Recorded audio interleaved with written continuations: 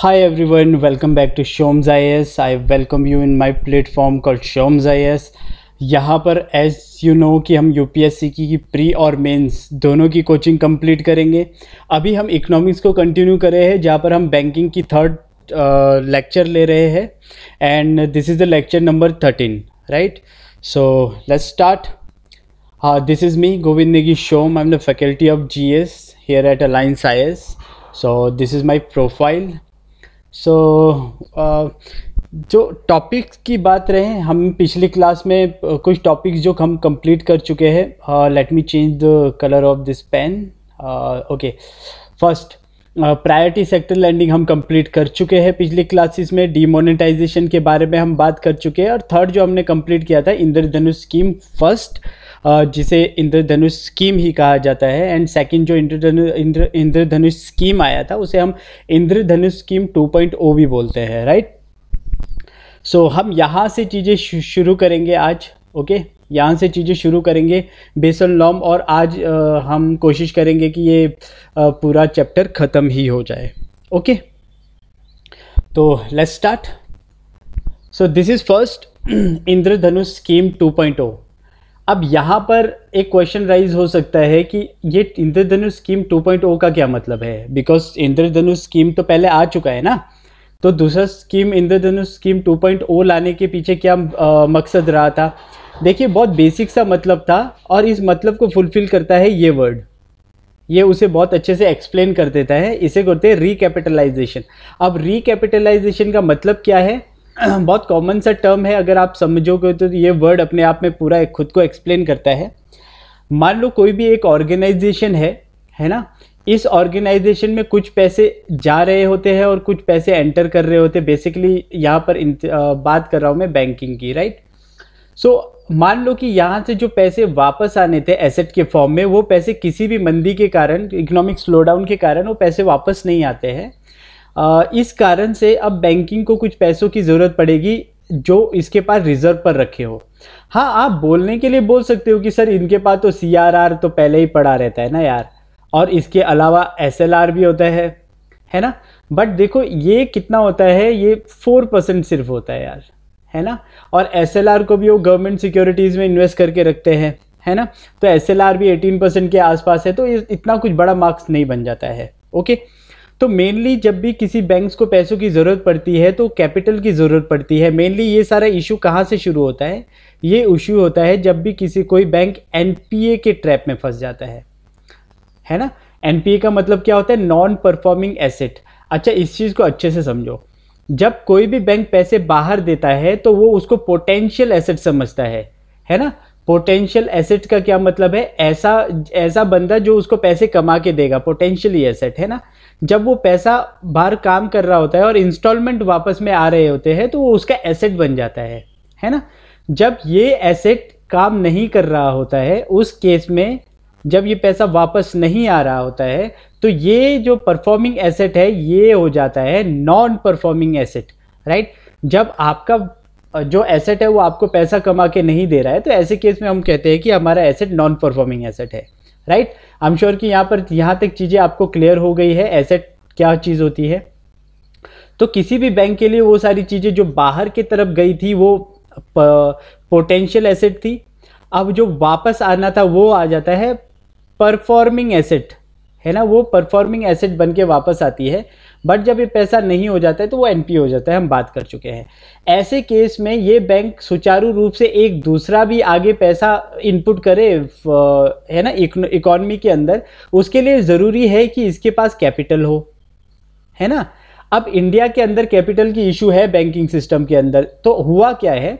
तो बैंक यहाँ पर जो, जब बैंक को पैसों की ज़रूरत पड़ती है तो ऐसे में बैंक को जो पैसा बाहर से मिलता है हेल्प के रूप में पैसा इसको दिया जाता है कि लो पैसे और बिज़नेस कंटिन्यू रखो। तो ऐसे केस को बोला जाता है capitalisation right I am sure कि ये चीज़ भी आपको क्लियर हो गई है कि कैपिटलाइजेशन होती क्या है। बहुत कॉमन सी और बहुत इंपॉर्टेंट टर्म है कैपिटलाइजेशन ओके चलिए आगे बढ़ते हैं।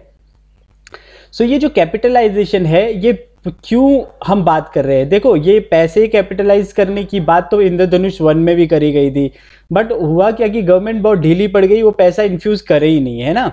तो तो इस वजह से क्या हुआ कि कैपिटल इंद्रधनुष स्कीम 2.0 के अंदर इन्होंने बोला, भाई, जल्दी से पैसा इन्फ्यूज करो बैंकिंग के अंदर राइट क्योंकि यहाँ पर बेसल नॉम की गाइडलाइन फुलफिल करने की बारी आ गई है, बेसल नॉम की गाइडलाइंस हमको फुलफिल करनी है। अच्छा ठीक है, इसके लिए पैसा इन्फ्यूज करो, ये बात तो यहाँ पर समझ में आती है। तो ओके ये बेसल नॉर्म्स क्या है?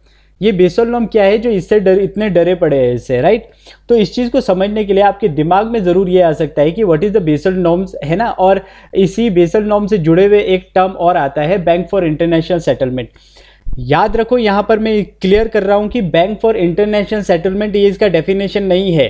हाँ ये भी ये भी गलत नहीं है कि मैं जो term bank for international settlement बोल रहा हूँ, वो भी गलत है। एक टाइम पे इसकी डेफिनेशन हुआ करती थी, बैंक फॉर इंटरनेशनल सेटलमेंट, अब वो नहीं रही। है ना? ये चीज़ मैं आपको क्लियर करता हूँ। एक छोटी सी हिस्ट्री है, देखिए। ये जो बी आई एस है, ये अपने आप में ये एक ऑर्गेनाइजेशन है और ये ऑर्गेनाइजेशन सिचुएटेड है बेसल स्विट्ज़रलैंड के अंदर। है ना? अब ये बी आई एस करता क्या है? ओके, देखो बीआईएस को बनाया गया था जब फ़र्स्ट वर्ल्ड के वॉर वॉर के अंदर जर्मनी के ऊपर सैंक्शंस लगे थे कि आपने वॉर को इतना घातक बना दिया, जिसके वजह से इतने लोग मारे गए। और ये जो नुकसान पूरी मानव जाति का हुआ है ह्यूमैनिटी का जो नुकसान हुआ है, उसका रेपिकेशन आपको भरना होगा राइट और फ्रांस के अंदर जो आपने त्राही मचाई थी, जो भी जो भी डिस्ट्रक्शन आपने वहाँ पर करी थी, उसके लिए रेपिकेशन आपको पे करना है। तो उस उस ट्रांजेक्शन के लिए एक ऑर्गेनाइजेशन बनाया गया था, जिसको बैंक फॉर इंटरनेशनल सेटलमेंट कहा गया। बट हमको पता है कि काफ़ी लंबे टाइम तक जर्मनी ने इसका यूज़ नहीं किया बिकॉज़ जर्मनी ने पैसा देना बंद कर दिया था। हिटलर आए थे, उसके बाद सेकेंड वर्ल्ड वॉर शुरू हो गई, वो सारे केस इसके बाद खड़े रहे राइट सो so, वहाँ पर ये जो ऑर्गेनाइजेशन बना था ना ये अपने अपने जगह में खड़ा है इसका कोई यूज़ हो नहीं रहा है। लेटर ऑन ये देखा गया कि इस ऑर्गेनाइजेशन का फर्दर इस्तेमाल भी किया जा सकता है। तो इस ऑर्गेनाइजेशन को बनाया गया। Sorry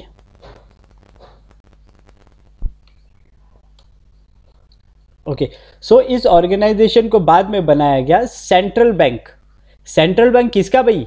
Central bank of all central banks in the world इस चीज़ को समझो।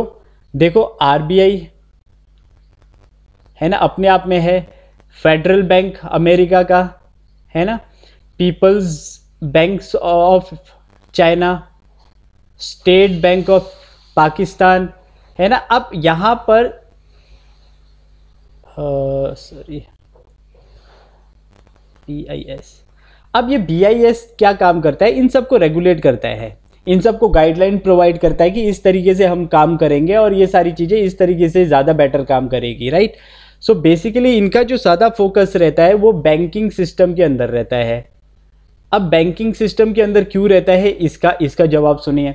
देखो, आज के टाइम पे ना, मान लो कि ये कंट्री ए है है ना?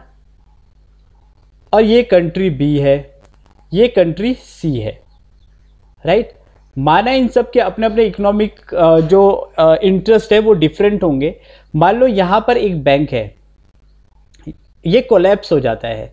इसके कोलैप्स होने की वजह से मान लो कि यहाँ पर इकोनॉमिक स्लो डाउन आता है। है ना? इकोनॉमिक स्लो डाउन आने की वजह से जो यहाँ से यहाँ के लिए और यहाँ से यहाँ के लिए जो भी ट्रेड होता होगा या फिर जो भी आ, किसी प्रकार का रिलेशन होगा वो अफेक्ट होगा कि नहीं होगा? अब यहाँ पर इफ़ेक्ट है तो यहाँ पर भी इफ़ेक्ट नज़र आएगा। अगर यहाँ पर इफ़ेक्ट नज़र आ रहा है तो इसके बीच में भी तो इफ़ेक्ट नज़र आएगा। बॉस, मान लो कि ये इनको गाड़ियाँ प्रोवाइड करती थी फ्यूल प्रोवाइड करती थी, अब इनके पास वो चीज़ है नहीं तो यहाँ पर दिक्कत आनी शुरू हो जाएगी, है ना? अब यहाँ पर दिक्कत आ रही है तो ये अपने माल को आगे शिफ्ट नहीं कर पाएँगे। तो बेसिकली आज के टाइम पर बोला जाए, हर एक कंट्री किसी ना किसी परस्पेक्टिव में एक दूसरे कंट्रीज़ के साथ जुड़ी है। एक दूसरे के साथ जुड़ी है, तभी तो वो मिलके काम कर रहे हैं ना। International world world health organisation हो गया वर्ल्ड ट्रेड ऑर्गेनाइजेशन हो गया, ये सारे बने क्यों हैं? इसी चीज़ के लिए बने राइट तो बाद में ये डिसाइड करा गया कि ये जो बैंक फॉर इंटरनेशनल सेटलमेंट है, ये इन सबको रेगुलेट करेगा और देखेगा कि ये जो इनको, इनके क्रेडिट में कोई फॉल्स आ रहे हैं, वो किस वजह से आ रहे हैं और किस तरीके से इनको डील करना चाहिए, ये सारी बातें ये देखने वाला था। है ना? यहाँ तक आई एम श्योर आप लोगों को क्लियर हो गया होगा। अच्छे अब ये जो बैंक फॉर इंटरनेशनल सेटलमेंट है जिस जिसका फुल फॉर्म अब कुछ भी नहीं है अगर बी आई एस है तो ये खुद अपने आप को कहते हैं कि हम बी आई एस है बिकॉज़ ये डेफिनेशन हम पे सूट नहीं करती तो हम नहीं मानते कि ये हमारा डेफिनेशन है राइट सो so, हमको सिंपली आप बी आई एस ही बोलो ये इनका बोलना है है ना? सो so, ये जो बी आई एस है अब ये क्या करती है एक कुछ नोम्स रिलीज़ करती है तो इसे बेसल नोम बोला जाता है। तो बेसल का अपना कोई फुल फॉर्म नहीं है बिकॉज़ ये एक जगह है तो इसे हम बेसल नॉर्म्स करके बोलते हैं राइट जैसे मान लो कि इंडिया को कोई जर्मनी में आके बोलना चाह रहा होगा कि इंडिया अपना इंटरेस्ट दिखा रहा है तो वो ऐसा बोलता है कि न्यू दिल्ली अपना इंटरेस्ट दिखा रहा है। अगर चाइना को बोलना है तो बीजिंग अपना इंटरेस्ट दिखा रहा है है ना? अमेरिका तो जैसे ये वॉशिंगटन डीसी है है ना? सो इस तरीके से बात किया जाता है, और किसी भी कंट्री को उसके कैपिटल के नाम से पहचाना जाता है है ना? सो so, ये जो ऑर्गेनाइजेशन है बिकॉज़ इसका हेडक्वार्टर बेसल में था तो इसे बेसल नॉम बोला जाता है। अब यहाँ पर क्या हुआ? यहाँ पर ये जो नॉर्म दो बहुत इंपॉर्टेंट पिलर्स पे फोकस करती है tier one and tier two capital tier one and tier two capital बहुत इजीली आपको समझ में आ जाएगा। ये जो टीयर वन कैपिटल है ना जो टीयर वन कैपिटल है ये बोलती है जो भी इकोनॉमी के अंदर शॉक्स आती है ना ये उसको ऑब्ज़र्व करेगा। मान लो कि कोई इकोनॉमिक स्लो डाउन आती है तो उस टाइम पे जो पैसा आपकी बैंकिंग सिस्टम को संभालेगा उसके लिए आपको यहाँ पर कुछ कैपिटल रिज़र्व करके रखना पड़ेगा। है ना? यहाँ पर कुछ कैपिटल रखना पड़ेगा जिसको हम टीयर वन कैपिटल बोलेंगे। राइट सो so, वैसे ही टीयर टू कैपिटल भी होती है। है ना? सो टीयर टू कैपिटल बहुत आ, ऐसे एक्सट्रीम टाइम पे यूज़ किया जाएगा। मान लो कहीं पर कोई बैंक है और बैंक इंसॉल्वेंट हो गया है और बैंक क्लोज होने वाला है। तो क्लोज होने के होने पर क्या होगा? एक प्रॉब्लम क्रिएट हो जाएगी। यहाँ के जो भी डिपॉजिटर्स है है ना? तो जो डिपॉजिटर्स है उनके पैसे तो लौटाने पड़ेंगे। अब उनके पैसे पूरा पूरा नहीं तो ये जो deposit insurance credit guarantee corporation है डीआईजीसी जिसको बोलते हैं। डीआईसीजीसी अब डीआईसीजीसी के गाइडलाइन के अकॉर्डिंग आपको प्रत्येक व्यक्ति को कम से कम पाँच लाख रुपए तो देने हैं। है ना? पाँच लाख रुपए तो आपको लौटाने ही है। तो उस हिसाब से जो भी पैसे लौटाने होंगे उसके लिए आपको कैपिटल रखना पड़ेगा। वो ऐप कैपिटल आप टीयर टू कैपिटल के अंदर रखोगे। राइट सो so, यहाँ पर इस टर्म को बोला गया कैपिटल एडिक्वेसी रेशियो अब मैं आपको समझ, समझाता हूँ कि ये टीयर वन टीयर टू समझ में आ गया। तो कैपिटल एडिक्वेसी रेशियो का क्या मतलब है? देखो, मान लो कि यहाँ पर बैंक ए है, जो कि एक, दो, तीन, चार, पाँच लोगों को लोन दे रहा है है ना?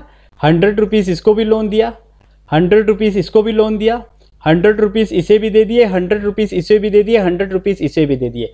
भाई, एक बात सोच के बताओ ये जो लोन दिए हैं, ये सारे के सारे जो क्रेडिट है, ये रिस्क होते हैं कि नहीं? अरे, बाहर पैसे दिए, ये तो रिस्क ही होंगे ना हमेशा। तो ये कैपिटल एडिक्वेसी रेशियो ये बोलता है कि जो भी पैसा आप बाहर दे रहे हो ना, उसका थोड़ा थोड़ा पैसा रिज़र्व करके रखो। ये मान के चलो कि ये बंदा वापस पैसे कुछ लॉस पे देगा। तो आप मान के चलो कि इसका ट्वेंटी परसेंट रखो, आप बीस रुपये रिज़र्व करते रहो। है ना? अब किसने क्या किया? बीस रुपये इससे रिज़र्व किए। बीस रुपये दूसरे से, बीस रुपये तीसरे से, बीस रुपये चौथे से और ट्वेंटी रुपीज़ पाँचवें से। तो ऐसे करते करते क्या हुए? ये सौ रुपये तो इन्होंने रिज़र्व करके रख लिए। अब ऐसा तो नहीं हो सकता ना कि सारे के सारे लोग जिन्होंने बैंक से पैसे लिए तो सारे के सारे डिफ़ॉल्ट कर जाएँगे। हो सकता है एक लास्ट वाला डिफ़ॉल्ट कर गया। अब चार सौ रुपये तो बैंक के पास फिर भी वापस आ जाएँगे कि नहीं भाई? है ना? बट जो आगे लेंड पैसे लेंड करे थे मनी लेंड करे थे that amount is five hundred rupees भाई। है ना? अब फाइव हंड्रेड रुपीज़ तो वापस है नहीं, सौ रुपए शॉर्टेज है। तो यहाँ पर जो सौ रुपए शॉर्टेज है ना, जो रिज़र्व में पैसे बचाए थे, वो हेल्प करेगा अब आपको यहाँ पर हंड्रेड रुपीज़ ऐड करके फाइव हंड्रेड रुपीज़ बनाने में। समझ आया? तो इस तरीके से कैपिटल एडिक्वेसी रेशो काम करता है। आई एम श्योर कि आपको यहाँ तक क्लियर हो गया। इंद्रधनुष स्कीम टू क्यों आई थी। ये आई थी यहाँ पर रिकैपिटलाइजेशन के लिए ये चीज़ याद रखना। इसके अंदर तो बेसल नॉम के ये इंपॉर्टेंट टर्म्स इसको भी याद रखना। बेसल नॉम होता क्या है ऑर्गेनाइजेशन क्या है किसके अंडर से ये नॉर्म्स निकलते हैं और ये नॉर्म्स मेनली कौन सी बातें करते हैं? तो मेनली ये। वैसे तो और भी इसके अंदर बहुत सारे पॉइंट्स है जब कभी कभी आ, मौका मिलेगा कि हम ऑर्गेनाइजेशन पढ़ रहे होंगे और उस ऑर्गेनाइजेशन के अंदर मैं आपको बैंक फॉर इंटरनेशनल सेटलमेंट ही पढ़ा रहूँगा। तो सॉरी जिसे बी आई एस ही अब बोलते हैं, अगर वो पढ़ा रहा हूँ तो मैं कंप्लीट आपको एक आइडिया दे दूँगा राइट तो फ़िलहाल तो जो इम्पोर्टेंट है, हमने सारा कुछ पढ़ लिया है। नेक्स्ट जो इम्पोर्टेंट पॉइंट हमारे पास निकल के आता है, उसको बोलते हैं फाइनेंशियल इंक्लूजन है ना? अब ये शब्द बहुत प्यारा है। ये शब्द बहुत प्यारा क्यों है? क्योंकि इसका, इससे भारत की व्यवस्था बहुत तगड़े ढंग से अफेक्ट होती है। अगर मैं आपको एक शब्द बोलूँ कि ये इंक्लूजन का मतलब बता दो, है ना? इंक्लूजन का मतलब है, मान लो यहाँ पर एक बंदा है, जिसका नाम ए है बी है सी है, और डी है, और ई e है है ना? ये पाँच लोग हैं, है ना? अगर मान लो इन सभी को ए के पास ज़रूरत का स्क्वायर है ए के पास ज़रूरत का ट्रायंगल है और वैसे ही सर्कल है। ये तीन लाइफ को जीने के लिए बहुत इंपॉर्टेंट एस्पेक्ट है जो ए के पास है राइट अब बी के पास क्या है? सिर्फ़ स्क्वायर है है ना? सी और बी सी के पास क्या है? सिर्फ़ सर्कल है। डी के पास सिर्फ़ ट्रायंगल है और ई e के पास तो कुछ है ही नहीं राइट सो so, क्या ऐसे सिचुएशन को इंक्लूजन बोलेंगे? क्या इनके पास द स्टेट ऑफ़ इंक्लूजन है? नहीं है। स्टेट ऑफ़ इंक्लूजन का मतलब है जब सभी के पास ज़रूरत के सभी सामान हो। अब इसके पास ये भी है, इसके पास ये भी है, इसके पास ये भी है, इसके पास ये भी है, इसके पास ये भी है और इसके पास ये भी है और इसके पास भी ये सारे हैं। ओके? अब इस सिचुएशन को हम बोल सकते हैं yes this is the state of inclusion right so जब सबके पास वो सभी ज़रूरत के सामान हो जो उनके पास होने चाहिए that is the state of inclusion right so ये इंक्लूजन याद रखना इंपॉर्टेंट टर्म है किसी के साथ भी जुड़ेगा तो आपको पता रहना चाहिए क्या बोलोगे राइट right? सो so, अब इसके साथ एक और टर्म जुड़ रहा है फाइनेंशियल इंक्लूजन तो अब आप आपको बहुत इजीली ये चीज़ समझ में आ गया होगा कि इंक्लूजन का मतलब क्या है। है ना स्टेप बाय स्टेप समझते हैं कि फाइनेंशियल इंक्लूजन होता क्या है। इस चीज़ को समझने के लिए देखो मैं बहुत फ्रिक्वेंटली इस टर्म इस फ्रेज का इस्तेमाल करता हूँ। The culture of excellence versus the culture of need the culture of excellence versus the culture of need ये क्या है? देखो आ, कई बार क्या होता है हमारे देश के अंदर कोटा सिस्टम भी चलता है रिज़र्व है ना? जो रिजर्वेशन मिल रहा है। है ना? उसी से रिलेटेड थोड़ा सा एग्ज़ाम एग्ज़ाम एग्ज़ाम्पल है। देखिए, मान लो शहर में एक बच्चा रह रहा है राइट इसके पास कितना इजीली एक्सेस है? लेटेस्ट नोट्स का। कहीं पर भी लेटेस्ट नोट मिल रहा होगा, वो ले सकता है है ना? बेस्ट बुक जो भी रिलीज़ हुई वो उसके पास अवेलेबल रहेगी, है ना? और गाइडेंस है ना? जो भी गाइडेंस है, वो भी इसके पास बहुत इजीली अवेल रहेगी। और पेरेंटिंग सपोर्ट पेरेंटिंग सपोर्ट जो पेरेंट्स का सपोर्ट रहता है ना, वो भी बिकॉज़ पेरेंट्स को बहुत इजीली इन सभी चीज़ों का पता होता है तो पेरेंट्स सपोर्ट क्या करते हैं? क्या आपको बुक्स चाहिए? मिल जाएगी। क्या आपको कभी पैसों की ज़रूरत है? प्रिंट आउट करवाना है? मिल जाएगा। आपको कुछ और सामान चाहिए मिल जाएगा। पेरेंट्स भी हर स्टेट में रेडी रहते हैं कि बच्चे को क्या चाहिए हम उसको वो प्रोवाइड कर देंगे एट अ पर्टिकुलर टाइम है ना? बट यहाँ पर देखो मान लो कि ये ये है सिटी है ना? इसको हम सिटी बॉय बोल देंगे समझने के लिए। है ना? एक है आ, इसको बोल देंगे मतलब क्या कहते विलेज यार है ना? विलेज बॉय बोल देते, चलो। ओके अब यहाँ पर एक विलेज बॉय है, जो गाँव में तैयारी कर रहा है है ना? अब देखो, इसके पास लिमिटेड रिसोर्सेज होते हैं।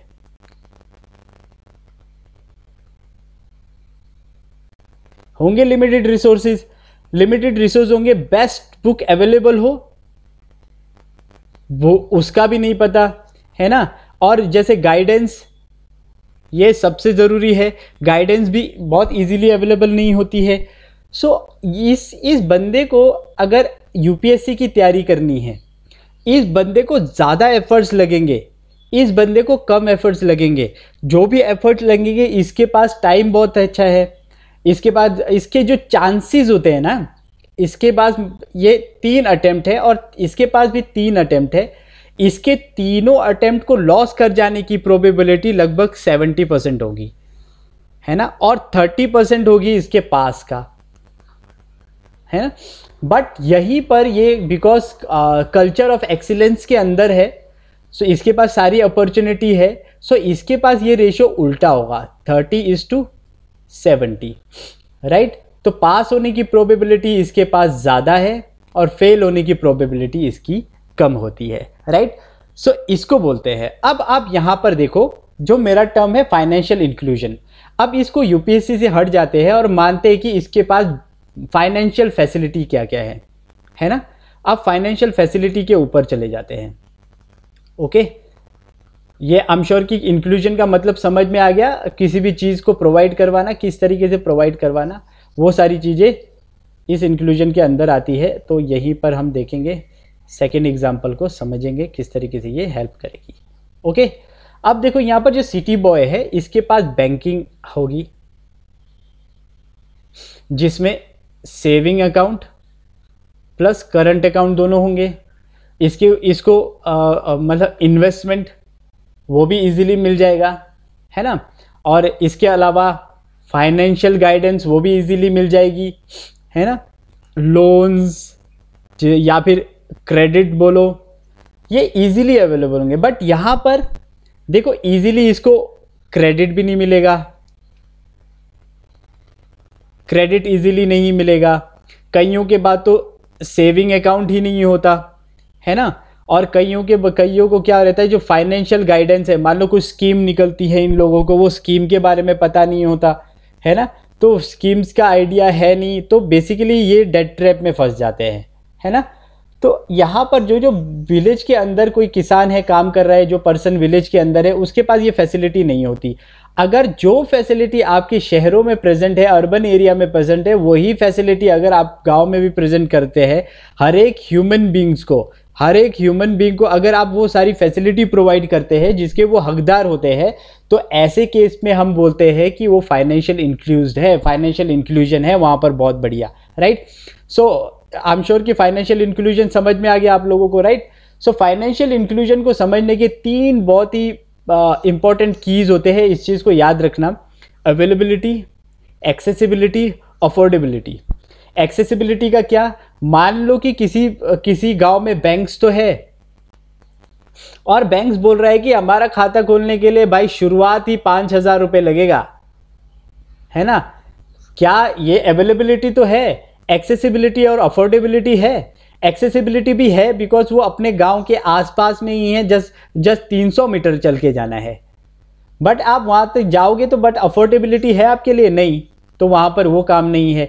अगर ये बोलेगा बैंकिंग सर्विस है, पाँच हज़ार रुपये है बट ओके ये ज़ीरो रुपये लूँगा मैं।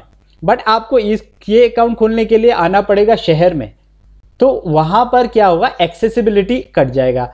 तो बेसिकली अगर ये तीनों चीज़ों में अगर टिक होता है, अगर ये तीनों मार्क चेक होती है किसी भी फ़ील्ड के अंदर, तब हम बोल सकते हैं यस वहाँ पर फाइनेंशियल इंक्लूजन है। समझ में आ गया financial inclusion I am sure आपको क्लियर हो चुका होगा। सो फाइनेंशियल इंक्लूजन के कुछ पॉइंट जो मैंने अभी पिछले स्लाइड में समझाने की कोशिश की कि वहाँ पर सेविंग फैसिलिटी सबको मिलनी चाहिए इंश्योरेंस फैसिलिटी होनी चाहिए रेमिटेंस ट्रांसफ़र अगर कोई मान लो कि कोई आ, कोई वर्कर है है ना? कोई वर्कर है जो रह रहा है एक्स वाई जेड जगह में है ना? एक्स वाई जेड जगह में रह तो रहा है अब वहाँ पर वो सौ रुपये भी कमा रहा है हज़ार रुपये कमा रहा है मान लो अब ये हज़ार रुपये कमा के अगर ये अपने फादर को भेजना चाह रहा होगा सिटी में तो वो सारी फैसिलिटी है। है ना? सेविंग अकाउंट है, सब कुछ है। अगर उसके विलेज में नहीं हुआ तो ये पैसे ट्रांसफ़र होंगे? नहीं। तो ऐसे केस में बोलते हैं, जहाँ पर सिटी में आपको कुछ मिल रहा है और आपको रूरल एरिया में वो सारा चीज़ नहीं मिल रहा है तो वहाँ पर फाइनेंशियल इंक्लूजन नहीं है। तो अगर अगर ये सारी चीज़ें चेक करती है अर्बन एरिया में भी और रूरल एरिया में भी तो ये फाइनेंशियल इंक्लूजन है। वैसे ही आपको क्रेडिट इजीली मिल जाता है। फाइनेंशियल एजुकेशन आपके पास है। जो एजेंसीज आपके गाँव में है, चाहे मान लो प्रधान है या फिर वार्ड मेंबर है, कोई भी, कुछ ऐसे सेमिनार्स लगाते हैं जहाँ पर आपको एजुकेट करते हैं कि ये सारी पॉलिसीज़ निकली है, ये स्कीम्स निकला है, आप उसका फ़ायदा उठा लो। मैनिपुलेट तो नहीं किए जाते आप फाइनेंशियल एडवाइस आपके पास अवेलेबल है। अगर ये सारी चीज़ें आपके पास अवेलेबल है यस आप फाइनेंशियल इंक्लूजन आपके कंट्री में बहुत बढ़िया है। नेक्स्ट जो टॉपिक है, वो हमारे पास होगा स्मॉल बैंक्स है ना? अब स्मॉल बैंक को समझो। अब स्मॉल बैंक वैसे में बोलने के लिए स्मॉल बैंक है। है ना? याद रखना स्मॉल बैंक मतलब छोटे बैंक नहीं। स्मॉल बैंक अपने आप में फुल फ्लेज बैंक होते हैं। वो वो बेसिक वो बेसिकली सारे के सारे टर्म्स फुलफिल करते हैं। जैसे कि मेन बैंक्स फुलफिल करते हैं like saving accounts current account provide कराना क्रेडिट लोन फैसिलिटी प्रोवाइड कर देना इंश्योरेंस प्रोवाइड करना एफ़ डी प्रोवाइड करना, ये स्मॉल्स बैंक भी आप लोगों को करवा देते हैं। इसके अलावा जो सभी बैंक्स को फॉलो करना रहता है आरबीआई का गाइडलाइन कि आपको सी आर आर मेंटेन करना पड़ेगा एस एल आर मेंटेन करना पड़ेगा, ताकि लिक्विडिटी आपके बैंक्स की बने रहे राइट ये सारी चीज़ें यहाँ पर ऑलरेडी प्रेजेंट होती है। Okay okay? सो so, यहाँ पर जो मेन पॉइंट है वो वो मेन पॉइंट है कि इनिशियली ये जो सारे ऑर्गेनाइजेशन बनाए गए थे ना जो मेन ऑब्जेक्टिव है जो इनिशियली ये ऑर्गेनाइजेशन बनाए गए थे ये फोकस करना था लो इनकम ग्रुप को। अब लो इनकम ग्रुप क्या होते हैं? वो फार्मर्स भी हो सकते हैं है ना? विलेज के अंदर जो छोटे छोटे कारीगर होते हैं वो सारे हो सकते हैं वर्कमैन है ना? वर्कर्स हो सकते हैं। कुछ मान लो किसी ने एमएसएमई e के अंदर रजिस्टर करा है है ना? कोई स्टार्टअप खोल रहा है। तो यहाँ पर आपको क्या करना पड़ेगा? वो पैसा आपको इनको देना है शुरू में। ऐसा नहीं है कि हमेशा ही, अब इन्होंने कहा कि आप अपने अपने को बढ़ा भी सकते हो। फ़िलहाल आप मान लो स्मॉल बैंक किसी एक सिटी में खोल लो टाउन में खोल लो विलेज में खोल लो, है ना? अब अब यहाँ पर क्या होगा कि विद द टाइम बिंग जब आप ग्रूम होते जाओगे तो आप और जगह पर भी ये सारी चीज़ खोल सकते हो राइट तो जैसा मैंने आपको कहा कि फार्मर रूरल एरिया में देखो एमएसएमई को देखो स्टार्टअप्स देखो राइट तो इस तरीके से स्मॉल बैंक वर्क करते हैं राइट सो स्मॉल बैंक के बारे में ये चीज़ आपको याद रखना है कि इनिशियली उनका फोकस क्या है बाकी इसमें खास इंपॉर्टेंट नहीं है। सो so, जो मेन इंपॉर्टेंट है वो है कि ये बोलने के लिए स्मॉल बैंक्स है बट ये फुल फ्लेज बैंक्स माने जाते हैं। और ये सब बाकी वो सभी सर्विसेज़ प्रोवाइड करते हैं जो एक फुल फ्लेज बैंक प्रोवाइड करता है। नेक्स्ट पेमेंट बैंक ना पेमेंट बैंक भी बहुत इंपॉर्टेंट है इंटरेस्टिंग है। पेमेंट बैंक जो शुरू में बनाए गए थे ना प्राइमरी इनका ऑब्जेक्टिव था कि ये रेमिटेंस ट्रांसफ़र में हेल्प करे। जैसा पिछले में ही मैंने आपको माना कि मान लो कि कोई बंदा है, वो वो मान लो किसी एक सिटी में है है ना? अब सिटी से वो गाँव में अपने परिवार को पैसे भेजना चाहता है तो सिटी में बैंक्स तो है है ना? बैंक्स यस अवेलेबल है, ठीक है? सर्विसेज़ दे रहे हैं वो यस दे रहे हैं। अफोर्डेबल है और इजी है और आपके रीच में है तो यस है रीच में। बट गाँव का क्या? गाँव में जो इनके फादर इनके मदर जिनको ये पैसे भेज रहा है, वहाँ पर ये रिसीव कर सकते हैं, नहीं कर पा रहे थे, है ना? तो ऐसे चीज़, ऐसे चीज़ों को फुलफिल करने के लिए हुआ क्या? पेमेंट बैंक खोले गए। अब पेमेंट बैंक होता क्या था कि मान लो गाँव में एक दुकान है, अब दुकान में वो दुकान क्या है? वो किराने की दुकान है, इसने बहुत सारे सामान तो दुकान पे रख रखे हैं, है ना? ये इसका शॉप है। अब यहाँ पर साथ में ये क्या कर देगा? ये बोलेगा एयरटेल मनी है ना? मेरे पास आओ और पैसे लेके जाओ। मैं इनका वेंडर हूँ राइट तो ये क्या करेगा? ये जो पैसे यहाँ से सीधा यहाँ पर भेज देगा small bank sorry payment bank में और यहाँ से इनके फादर वो चीज़ रिसीव कर लेंगे राइट तो इस इंटेंशन के साथ स्मॉल्स बैंक बनाए गए थे। तो स्मॉल्स बैंक के एग्ज़ाम्पल है जैसे एयरटेल मनी पेटीएम बहुत ही फ़ेमस और बाकी के जो वॉलेट ऐप्स जैसे थे, जो बैंकिंग सर्विसेज़ भी प्रोवाइड करने लग रहे थे बाद में। सो स्मॉल बैंक का जो जो स्मॉल बैंक है, वो भी अपने साथ जैसे स्मॉल बैंक थे, वैसे ही जो पेमेंट बैंक है सॉरी यहाँ पर पेमेंट बैंक आना था। पेमेंट बैंक्स जो स्मॉल बैंक के तरह जो पेमेंट्स बैंक है, वो, उनको भी गाइडलाइन फॉलो करना पड़ता है आरबीआई का कि आपको सीआरआर भी मेंटेन करना है एसएलआर भी मेंटेन करना है। बट यहाँ पर कैच है और कैच है कि ये जो पेमेंट्स बैंक है पेमेंट बैंक्स इनकी एक लिमिटेशंस है। लिमिटेशन ये है कि ये किसी भी प्रकार का क्रेडिट या फिर लोन प्रोवाइड नहीं कर सकते। ये चीज़ याद रखना भाई। ऐसा नहीं है यहाँ पर ये एयरटेल मनी वाला बोलने लगा कि इस लड़के के फादर को कि मैं तुम्हें लोन दे देता हूँ। नहीं, ये प्रोवाइड नहीं कर सकता। है ना? अच्छा यहाँ पर एक चीज़ याद रखना बिकॉज़ क्रेडिट नहीं दे सकता तो बिकॉज़ कि वो क्रेडिट प्रोवाइड कर ही नहीं सकता है तो वो किसी प्रकार का लोन्स नहीं दे सकता। वो किसी प्रकार का ओवरड्राफ्ट भी नहीं दे सकता। आपको वो भी तो लोन ही होता है ना। और वो क्रेडिट कार्ड भी इशू नहीं कर सकता। ये 2017 की 18 के प्रीलिम्स में क्वेश्चन आया था कि क्या जो पेमेंट बैंक है वो क्रेडिट कार्ड इशू कर सकते हैं? तो बहुत बच्चे कंफ्यूज हो गए थे कि क्रेडिट कार्ड इशू कर सकते कि नहीं कर सकते बिकॉज़ वो क्रेडिट लोन नहीं दे सकते, ये बताया गया है। अब जब क्रेडिट लोन नहीं दे सकते तो क्रेडिट कार्ड भी एक ऐसा नेगोशिएबल इंस्ट्रूमेंट होता है जो बताता है कि आपके पास लोन है। और उसका लिमिटेड क्या लिमिट क्या है, कितने के अंदर आपको वापस करना है और उसकी पेनल्टी क्या है, वो सारी चीज़ें इस पर डिसाइड होती है क्रेडिट कार्ड पे राइट सो ये चीज़ आपको याद रखनी है। चलिए नेक्स्ट देखते हैं। जो लिमिटेशन टू है, ये ये क्रेडिट कार्ड जो सॉरी अकाउंट होल्डर के लिए नहीं है। उस, उसी बैंक का सेकंड लिमिटेशन है और ये लिमिटेशन है कि आप किस तरीके से इन्वेस्टमेंट करते हो। है ना? वे ऑफ़ इन्वेस्टमेंट के अंदर भी लिमिटेशन है। याद रखना, जो यहाँ पर एक कॉन्सेप्ट समझो। मान लो कि यहाँ पर एक बंदा है, जिसने, इसका नाम राजू है। है ना? राजू ने क्या किया? पैसा भेजा गाँव में शंभू दुकानदार के पास। अब मैं मान लेता हूँ, ये क्या है? पेमेंट बैंक है ना? Payment bank. और ये पेमेंट बैंक बिचोला है राजू के फादर, पौरता राम का। ठीक है? तो यहाँ पर ये जो परता राम जी है, अब राजू ने यहाँ से भेजे है एक हज़ार रुपये रुपए राइट सो यहाँ पर एक हज़ार रुपये पहुँच चुके हैं। ओके एक हज़ार रुपये यहाँ पर पहुँच गए भाई।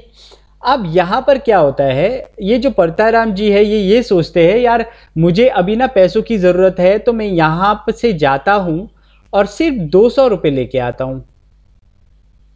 ठीक है? अब ये जो दो सौ रुपये लेके आते हैं, ओके?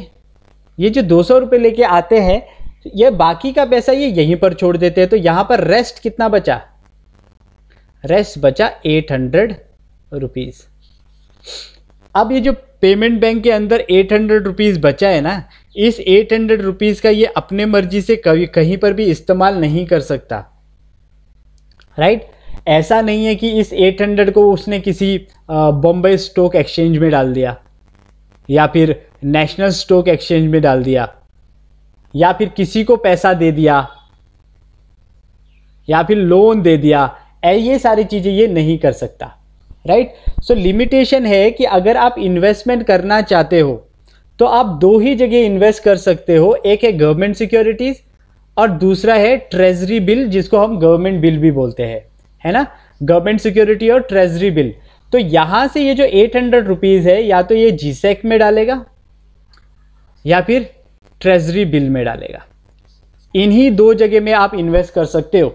राइट? सो ये सेकंड लिमिटेशन ये दो जो, दो लिमिटेशन है, इसको आपने याद रखना है।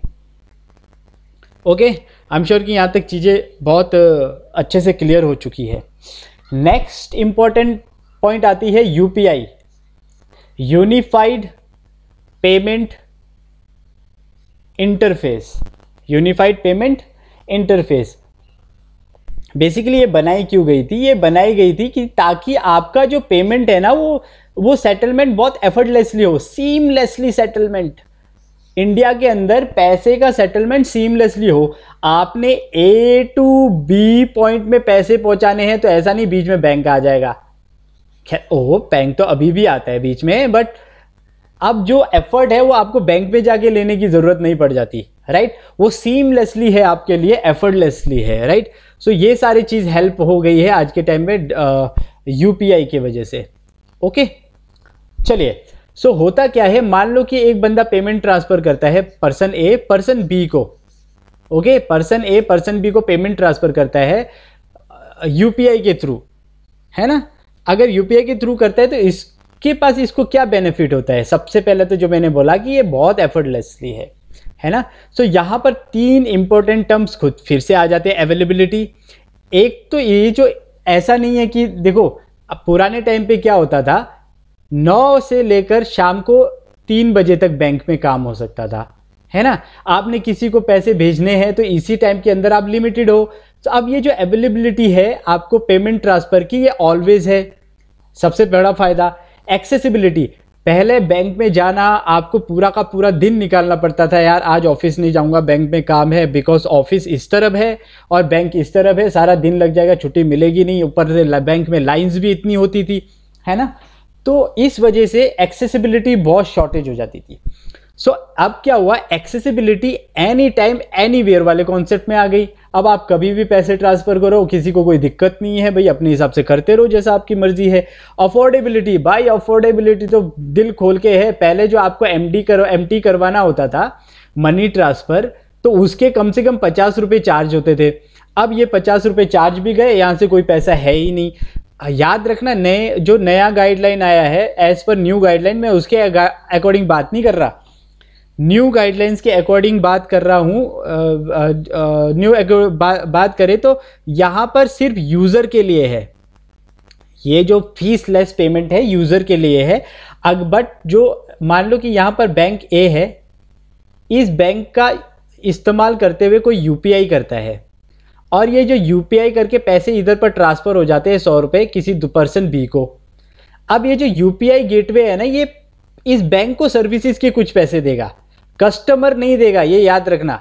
ठीक है, ये कंफ्यूज कर सकते हो आप लोग यहाँ पर। और कहीं ना कहीं आप लोगों को ये कंफ्यूजन शायद एमसीक्यू में भी हो सकती है, ये चीज़ याद रखना, है ना? इसीलिए मैंने यहाँ पर लिखा है ओनली यूज़र्स है ना? यूज़र्स के लिए है, ये बिल्कुल अफोर्डेबिलिटी की आपको यहाँ पर कोई भी कॉस्ट नहीं लगने वाला है। इसके जो की फीचर है इमीडिएट ट्रांसफ़र है वाह जी वाह बहुत मज़े की बात है। फ़ोन नंबर का यूज़ करते हुए सब कुछ हो जा रहा है। यूपीआई एक यूपीआई आईडी बन जाती है। आपकी ईमेल आईडी के थ्रू भी बन जाती है आपके फ़ोन नंबर के थ्रू भी बन जाती है और ये यूनिक होता है और हर ऐप के लिए अलग अलग बनना बन जाता है है ना?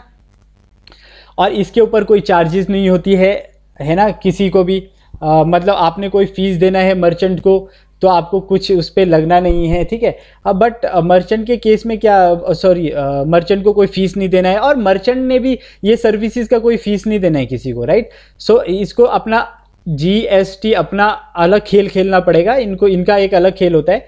बट ये जो चार्जेस लगेंगे ये पेमेंट गेटवे के ऊपर लगेंगे राइट सो चार्जेस कौन देगा? पेमेंट गेटवे पेमेंट गेटवे अब ये जो पेमेंट गेटवेज क्या क्या होती हैं जो मैंने पीछे आपको बताया जैसे पेटीएम हो गया है ना? फ़ोन पे हो गया राइट गूगल पे हो गया ये सारे पेमेंट गेटवे हैं और ये पेमेंट गेटवे क्या करेंगे? हर ट्रांजेक्शन का कुछ अमाउंट पैसा देंगे वो यूपीआई वाले किसको सॉरी जो बैंक उनको वो सर्विसेज़ प्रोवाइड कर रहा है उनको वो सारे आ, कुछ चार्जेस देंगे as per new guidelines right next है गोल्ड स्कीम इस चीज़ को ध्यान दो कि ये गोल्ड स्कीम भी आया था, ये गोल्ड स्कीम क्या है? ये गोल्ड स्कीम बहुत इंपॉर्टेंट है, इस बिकॉज़ उस वक्त में आया था, कुछ फेलियर भी है, इसके साथ इकोनॉमी के बहुत इंपॉर्टेंट इंपॉर्टेंट टर्म्स भी जुड़े रहते हैं ना, इसलिए। ओके वाई गोल्ड स्कीम ये गोल्ड स्कीम क्यों लेके आए थे? देखिए, इसके पीछे आंसर है कि ये जो गोल्ड का डिमांड है ना, इसको किसी ना किसी तरीके से टैकल करना चाहते थे। है ना? गोल्ड का डिमांड अब देखो गोल्ड के डिमांड से होता क्या है कि मान लो कि किसी भी घर पे गोल्ड बहुत ज़्यादा पड़ गया। एक बंदे ने क्या करा, यार इन्फ्लेशन रेट बहुत ज़्यादा है, मैं एक टिक्की, दो टिक्की, तीन टिक्की, चार टिक्की गोल्ड लेके घर पे रख देता हूँ। जैसा जैसा इन्फ्लेशन बढ़ता रहेगा, इसका भी प्राइस बढ़ता रहेगा, अपना तो पैसा जम रहा है। है ना? अपने को क्या है? अपना पैसा जम रहा है है ना? बट ये जो गोल्ड इसने घर पे रखा है ना, क्या इसका यूज़ इकोनॉमी के अंदर कुछ हो रहा है? क्या प्रोडक्शन हो रहा है इसकी वजह से?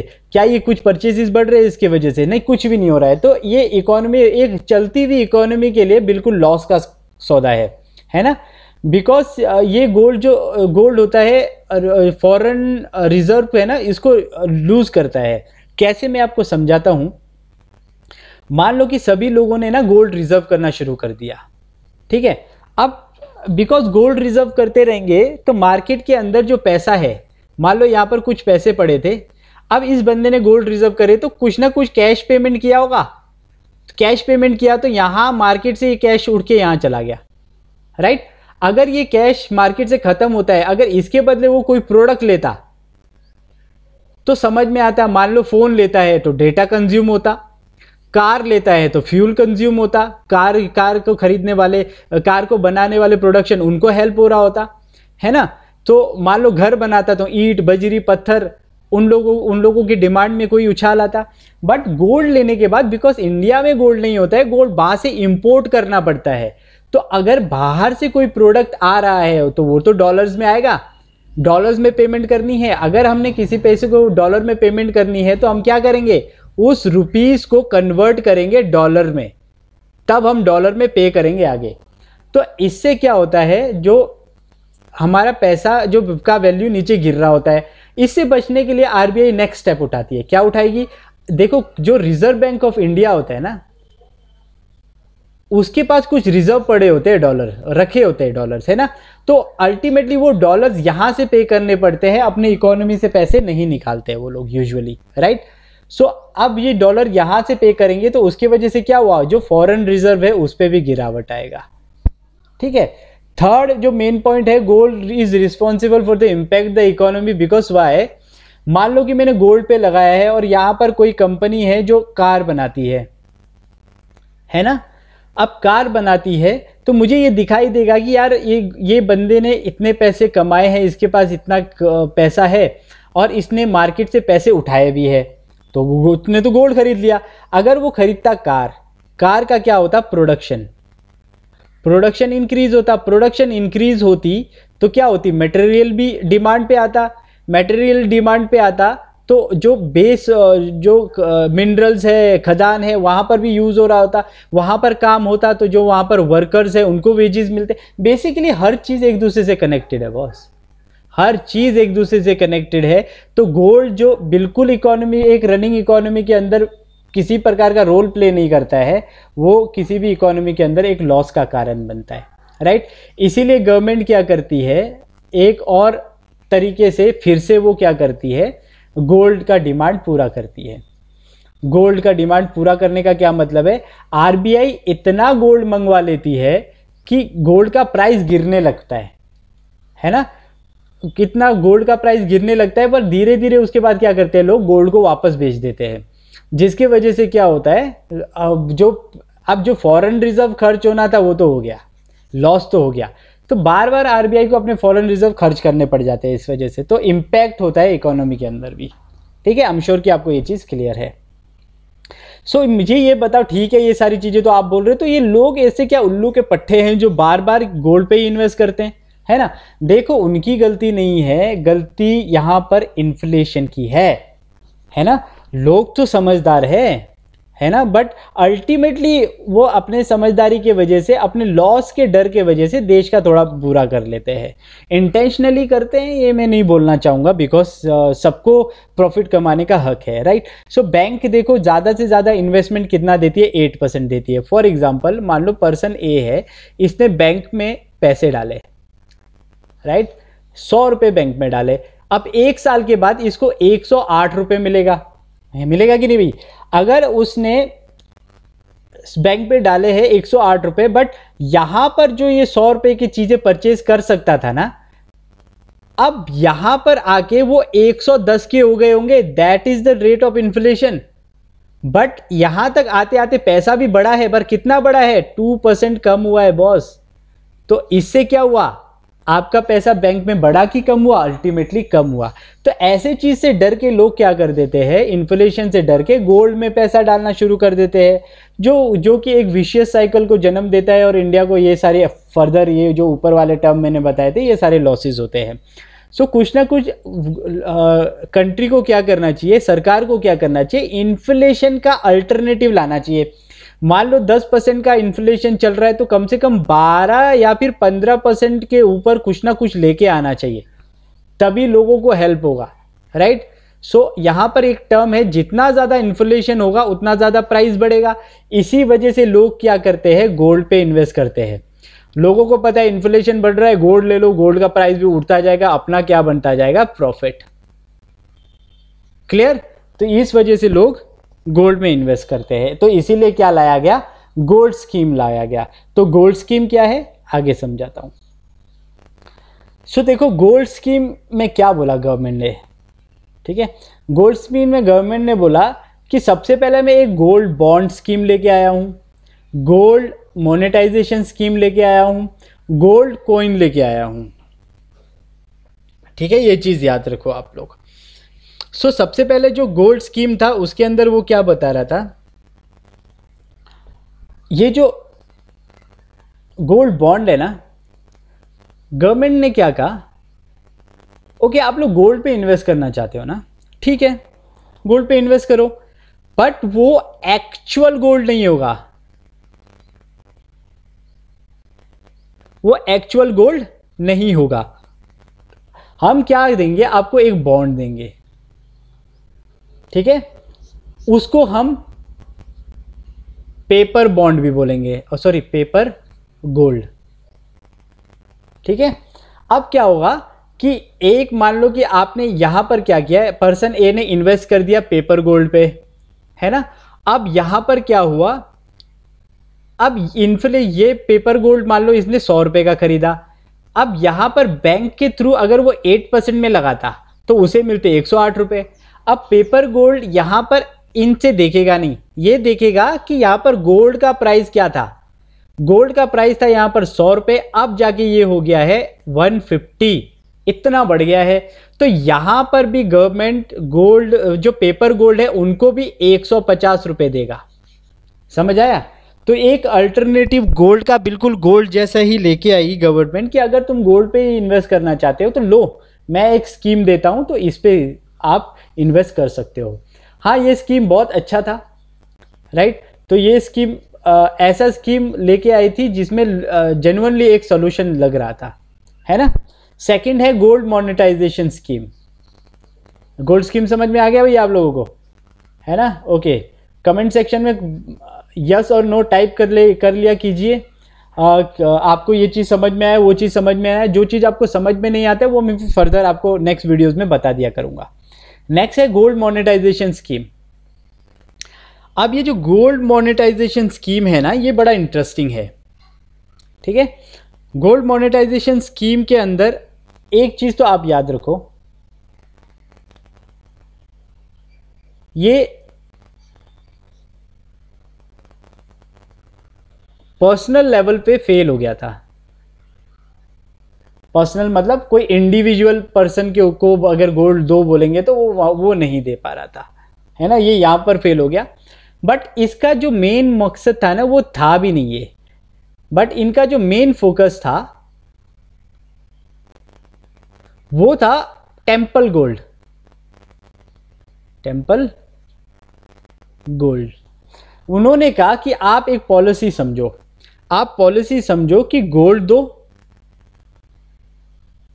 है ना? गिव गोल्ड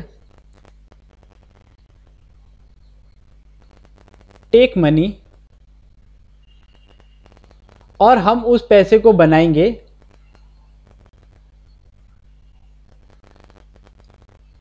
परफॉर्मेबल एसेट ओके तो ये कॉन्सेप्ट था। तो असल में अब यहाँ पर आप बोलोगे कि यार पर्सनल लेवल पे क्यों फेल हो गया फिर? पर्सनल लेवल पे फेल होने का मतलब ये था कि गवर्नमेंट ने ऐसा कहा था कि जब भी आप ये गोल्ड दोगे, हम इस गोल्ड को लिक्विडाइज कर देंगे, पिघाल देंगे। पिघाल के हम इसकी प्योरिटी चेक करेंगे। उस हिसाब से आप लोगों को पैसे मिलेगी। अब जो जनरल पब्लिक था वो इसी से ही कनेक्ट नहीं कर पा रहा था कि यार मैंने तो गहने बनाए ना।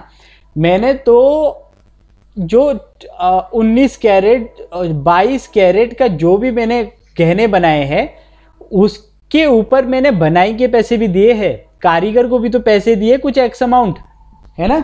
अब एक्स अमाउंट देने का मतलब क्या है? मैं किसी सोने का ज़्यादा पैसा दे क्यों रहा हूँ? क्योंकि मैं उसका गहने बनाना चाहता हूँ। अब जो गहने तुमको दूँगा, तुम पिघाल दोगे, उससे मेरा क्या मतलब हुआ? है ना? तो गहने मैंने लिए ही इस वजह से था तो पर्सनल लेवल पे ये कनेक्ट नहीं कर पाया। है ना? यहाँ तक आई एम श्योर कि आपको कनेक्ट क्लियर हो चुका है कि ये स्कीम्स क्या थे और क्यों लाए गए थे। ओके चलिए नेक्स्ट देखते हैं गोल्ड कॉइन स्कीम ये इतना इंपॉर्टेंट नहीं है, ठीक है? इतना इंपॉर्टेंट नहीं है, आपसे कभी पूछेंगे भी नहीं, और क्योंकि ये बिल्कुल ही यूजलेस था। हुआ क्या कि गवर्नमेंट ने यहाँ पर कॉइन लॉन्च किए, है ना? कॉइन कुछ ऐसा था, एक तरफ़ में और दूसरे तरफ़ में अशोक स्तंभ बने थे। मान लो यहाँ पर ये टाइगर जी के अशोक स्तंभ बने थे यहाँ पर, और यहाँ पर भी अशोक स्तंभ अशोक स्तंभ, ऐसा।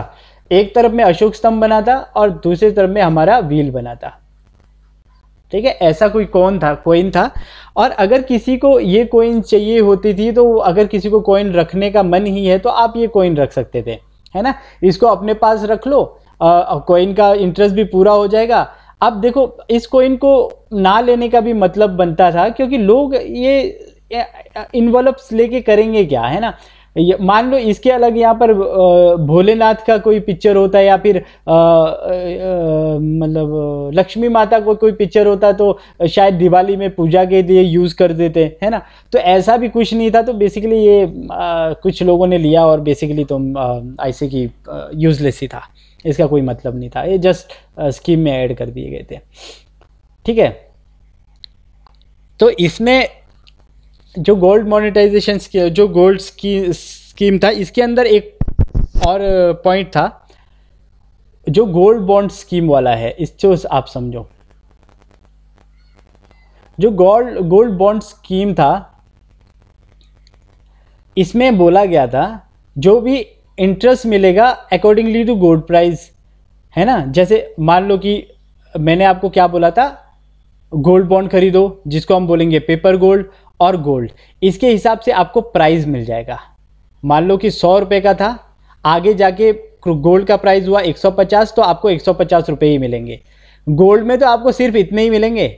बट गवर्नमेंट ने बोला था, अगर आप यहाँ पर इन्वेस्ट करते हो तो आपको एप्रिसिएशन एप्रिसिएशन मतलब इंटरेस्ट जो पचास रुपये इंटरेस्ट मिले यहाँ पर, उसके अलावा ये अलग से बोलेंगे कि इंटरेस्ट हम देंगे। ये इंटरेस्ट को अलग इंटरेस्ट बोलते थे और जो गोल्ड का प्राइस बढ़ रहा है ना वो एप्रिसिएशन होता है। इंटरेस्ट क्या होता है? जो आप किसी के ऊपर फिक्स मिलता है है ना? तो यहाँ पर तो वो इंटरेस्ट वाला केस नहीं था तो ये पचास रुपये इंटरेस्ट नहीं था। ये अप्रिसिएशन जो प्राइस बढ़ने के बाद वो बढ़े हुए प्राइस में आपको मिलता है। That is appreciation not interest ठीक है? ये याद रखना ये टर्म इंपॉर्टेंट है। सो so, यहाँ पर अप्रिसिएशन तो मिला। आपने गोल्ड खरीदा। गोल्ड खरीदा सौ रुपये का। ठीक है? तो उस उस गोल्ड का प्राइस आगे जाके क्या हुआ? एक सौ पचास रुपये है ना? बट अगर आपने गोल्ड पेपर खरीदा तो आगे जाके इसका प्राइस भी कितना हुआ? 150 बट इसमें प्लस इंटरेस्ट भी मिलेगा। मान लो कि इसमें तीस रुपये और इंटरेस्ट गवर्नमेंट दे रही है। तो अल्टीमेटली जहाँ पर गोल्ड में आप सिर्फ़ पचास रुपये कमाते और यहाँ पर वन एटी रुपीज़ कमा रहे हो। समझ में आया? ये चीज़ याद रखना इंपॉर्टेंट है ये भी।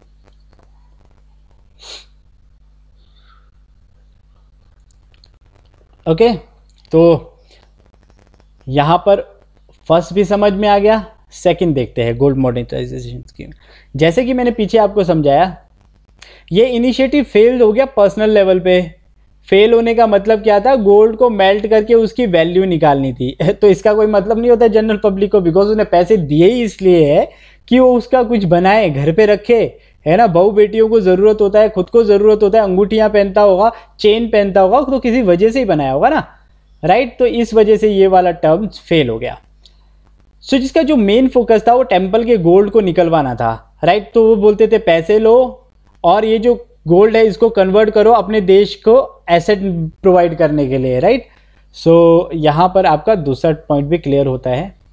राइट सो फ़र्स्ट क्लियर हो गया सेकंड क्लियर हो गया और थर्ड तो मैंने आपको बोला टोटली फेल था बिकॉज़ इसके अंदर वो सारे पॉइंट्स मैंने आपको क्लियर कर दिए हैं। नेक्स्ट लास्ट है मुद्रा स्कीम अब मुद्रा स्कीम को यहाँ पर समझो यार। ये जो मुद्रा है ना, अपने आप में मुद्रा ही इसका मतलब नहीं है, इसका अपना अलग पॉइंट है। Micro unit development and refinancing इस वर्ड को मैं गोले पे डाल रहा हूँ because this is very important word re refinancing agency तो बेसिकली क्या हो है इसका अगर टुकड़ा किया जाए तो ये एक माइक्रो यूनिट है जो डेवलपमेंट के ऊपर ध्यान देता है।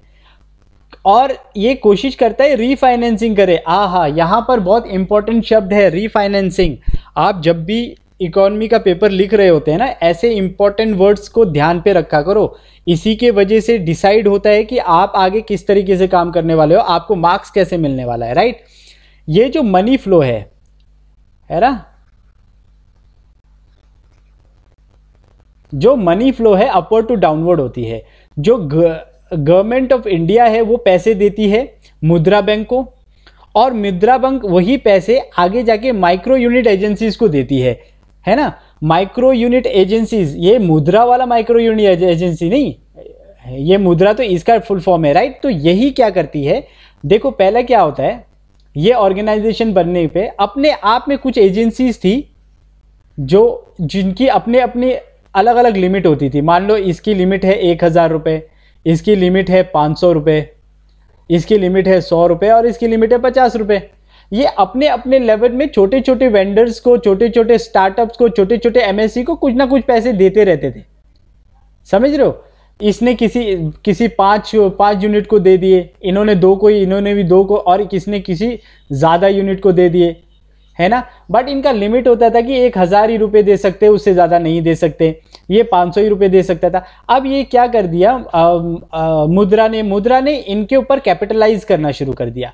इनको कैपिटल इन्फ्यूज़ करना शुरू कर दिया। इनको जैसे हज़ार रुपये है तो इनको पाँच हज़ार रुपये और दे दिए। कि आप कोई बात नहीं हम आगे जाके काम नहीं करेंगे काम तो आप ही करोगे बट हम आपको पैसा प्रोवाइड करते रहेंगे तो ये जहाँ पर ए बी सी डी और ई e, ये जो ऑर्गेनाइजेशन यहाँ पर है अब यही ऑर्गेनाइजेशन काम कर रही है बट इनके पास कोई सपोर्ट आ गया ऊपर से जो उनको पैसा दे रहा है। तो फर्दर ये आगे जाके एमएससी को फाइनेंस कर रहे हैं माइक्रो प्रोजेक्ट को फाइनेंस कर रहे हैं स्टार्टअप्स को फाइनेंस कर रहे हैं जिससे हमारी इकोनॉमी का अर्थव्यवस्था अपने हिसाब से एक बहुत ही हैंडसम स्पीड में रन करती जा रही है राइट और यही वजह है कि आज के टाइम पे इंडिया के अंदर आप देखोगे कितने सारे स्टार्टअप्स निकल रहे हैं राइट आपने शार्क टैंक्स के अंदर भी देखा होगा कितने सारे स्टार्टअप्स आते हैं यार, देख के बहुत खुशी होती है ऐसे टाइम पे ना, कि हम उस टाइम पे है जब इंडिया अपने फर्नर मैन्युफैक्चरिंग पॉइंट के अंदर इतना स्ट्रांगली अपने एफर्ट्स ले रहा है राइट सो नेक्स्ट पॉइंट है यहाँ पर ये जो लोन देता है ना मुद्रा, जैसे मैंने पीछे स्लाइड में आपको बोला कि ये यहाँ से लोन देता है नीचे को। ये जो लोन देता है, इसके अपने अलग स्टेप्स है राइट सो ये क्या करेगा? तीन स्टेप में अपने लोन देगा और इसके अलग अलग नाम है। इसको याद रखना बहुत ही ज़्यादा इंपॉर्टेंट है और कितने इंटरव्यू में मैंने नहीं देखा कि ये क्वेश्चन करे है राइट? बहुत बहुत फ्रिक्वेंटली ये क्वेश्चन भी पूछे जाते हैं कि मुद्रा जो तीन टाइप के लोन देता है, उसका नाम क्या है? और उनके लिमिट क्या है? सो so, सबसे पहला है शिशु। शिशु से आप याद रखो कि ये पचास हज़ार से कम के लोन होते हैं। मान लो किसी को तीस हज़ार की ज़रूरत है किसी को बीस हज़ार की ज़रूरत है बिल्कुल छोटे छोटे गाँव के हैं ना? दस हज़ार की ज़रूरत है तो ऐसे बिल्कुल छोटे छोटे प्यारे प्यारे लोगों को जो जिनको पैसों की ज़रूरत है तो ये शिशु वाले सेट के अंदर लोन प्रोवाइड किया जाता है। इसी के अंदर मान लो कि किसी पैसे की ज़रूरत है, किसी को पैसों की ज़रूरत है, पचास हज़ार से ज़्यादा। मान लो कि वो छोटी छोटी सी फैक्ट्री लगाना चाहता है, कोई बैम्बू के चेयर बनाता है तो कुछ मटेरियल ख़रीदना चाहता है है ना? तो ऐसे जो छोटे छोटे काम करते हैं, उनको कई बार एक लाख से पाँच लाख की ज़रूरत पड़ जाती है। मान लो किसी को दो लाख की ज़रूरत है है ना? किसी को चार लाख की ज़रूरत है, किसी को पाँच लाख की ज़रूरत है तो यहाँ तक की जो ज़रूरतें पूरी करनी है, वो किशोर के अंदर पूरी की जाएगी। ये सेकेंड लेवल का लोन प्रोवाइड है। थर्ड है तरुण राइट right? इसको याद रखना। एक कई बार क्वेश्चन देखा है मैंने, जहाँ पर पूछा गया है which is the which is the type of loan which provide more than five lakhs for for the M S M E sectors और अदर रिलेटिव सेक्टर्स ना? तो ऐसे केस में तो आपका आंसर होना चाहिए। तरुण इस वर्ड को याद रखना। ये पाँच से लेकर दस लाख। अब इससे ज़्यादा नहीं है तो इससे ज़्यादा तो फिर माइक्रो यूनिट नहीं रह जाएगा ना? तो दस लाख भी बहुत बड़ा अमाउंट है तो ऐसे में किसी को हेल्प करनी हो तो यहाँ से हेल्प हो जाती है राइट थोड़ा सा यहाँ पर लोन इतनी इजीली नहीं मिल जाता, ये लोग चेकआउट करते हैं कि वो बिज़नेस में थोड़ा दम है या फिर नहीं है, या फिर कोई शेल कंपनी सी तो नहीं शेल तो नहीं है कि झूठ में ही तो पैसे तो नहीं बना रहा, वो सारी चीज़ें आप फुलफ़िल करोगे तो उसके बाद में आपको ईजिली लोन मिल जाएगा right so I am sure कि हमने सारे टॉपिक जो मैंने आपसे प्रॉमिस करे थे अभी तक आई कंप्लीटेड दैट और uh, उम्मीद करता हूँ कि आपको लेक्चर्स पसंद आए होंगे। So शोम्स I S thank you you और मैं आपसे रिक्वेस्ट करना चाहता हूँ कि अगर आपको ये लेक्चर पसंद आ रहे हैं दिन प्रतिदिन हम uh, बहुत you know some kind of update होते जा रहे हैं कोशिश कर रहे हैं आपको बहुत रिलेटिव कंटेंट लाने की। और कोशिश कर रहे हैं कि आपको हर वो चीज़ प्रोवाइड कर सके जो आप आप डिज़र्व करते हो, आपकी मेहनत डिज़र्व करती है। शो माई बहुत ही बहुत ही अर्ली स्टेज के अंदर है बट हम फिर भी बहुत कोशिश कर रहे हैं आपके लिए। बट आपके सपोर्ट की ज़रूरत है, आप जैसे सपोर्ट करते रहोगे चैनल को आगे स्प्रेड करो, कोई फ़ीस चार्जेस नहीं है, किसी प्रकार की फ़ीस आपसे चार्ज नहीं किए जाएँगे। जो भी आपको कोर्स करवाया जा रहा है, आपको कोचिंग कंप्लीट करवाने का मैं प्रॉमिस कर रहा हूँ, और उसके लिए कोई चार्जेस नहीं लूँगा। हाँ मैं आगे जाके ये भी कोशिश करने वाला हूँ कि जो मेरी इकोनॉमी की बुक ऑलमोस्ट बन के तैयार होने होने ही वाली है ज्योग्राफी की बुक कंप्लीट होने वाली है तो मैं आपको मटेरियल भी प्रोवाइड करूँगा। या फिर जैसे शॉर्ट्स नोट होते हैं प्रीलिम से पहले कि आपको क्या क्या पढ़ के जाना है तो वो गाइडलाइंस भी मैं आपको प्रोवाइड करूँगा राइट सो ये चीज़ें टाइम के बाद सर्विसेज़ बढ़ती जाएगी बट अभी हमको आपकी ज़रूरत है तो प्लीज़ डू सब्सक्राइब कमेंट कीजिए, अपने रिव्यूज़ दीजिए, क्या हम इसमें अपडेट कर सकते हैं अपने पढ़ाने के तरीके को, या फिर पीपीटी के लेवल को, आप कुछ जो भी बोलोगे, हम उस पर काम ज़रूर करेंगे। So till then thank you God bless you all